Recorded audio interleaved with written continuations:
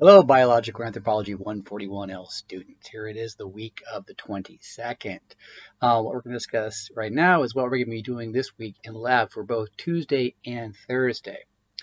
This section is about skeletal anatomy. Before we can go any further into the Cenozoic and really discuss, you know, how primates are evolving on our way to us, we need to have some skeletal anatomy. That's where we're going to see the changes at, and more specifically, right in the fossil record. So if I'm going to be talking about that in the future, or going to be seeing literature on that in the future, you need to be able to get yourself around the skeleton. All right. So here's what I have planned for you. There'll be a link below that says Introduction to the Skeleton and Exercises. Uh, that PDF link uh, goes into a laboratory workbook uh, section. Um, and what I want you to do is read that PDF and do the exercise. It's all the questions and all the exercises. And some of these questions are going to ask, they're going to start out with, you know, look at the instructor provided material or the material at the end of the chapter. I don't obviously have a lab here, so you're going to have to look at the photographs at the end of the chapter to be able to do these labs, okay? So do that. Additionally, if you need any more visual images, you know, since you're online, you've got Google right there, so you can pretty much bring up any bone from any angle that you want. All right.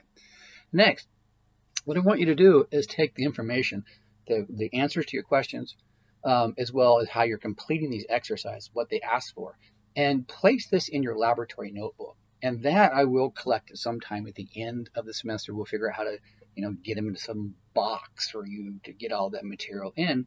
Um, and that way I can give you a grade for all this stuff, right? Now, lastly, um, when you're working on the skeleton, it might be a good idea for some of you and, and many of you if you can get a skeletal app. Um, you know, they make these. You just type in skeleton app.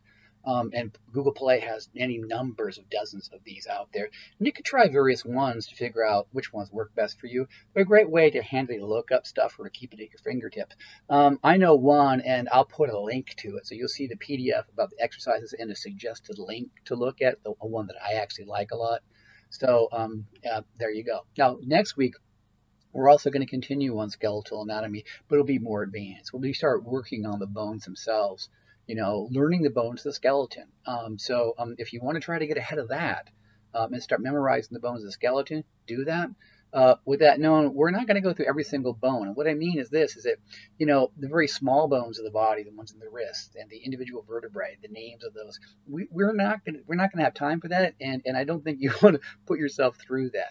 But right now, I want you to think about bone categories. How many bones are there? You know, which part of the body are there?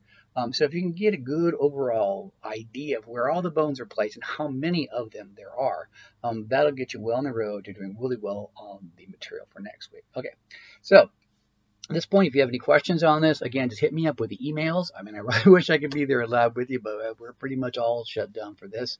Um, get to work on that workbook, okay? Make sure uh, you get it in that laboratory notebook of yours. That that's your goal. That that's your grade for the class right now, um, as well as um, you know the timeline. I'm looking forward to those, to getting those at some point, whether I can collect it in person or whether we have to take photocopies and send them in in pieces. You know, either which way that works for you, uh, we'll get them in by the end of the semester. All right.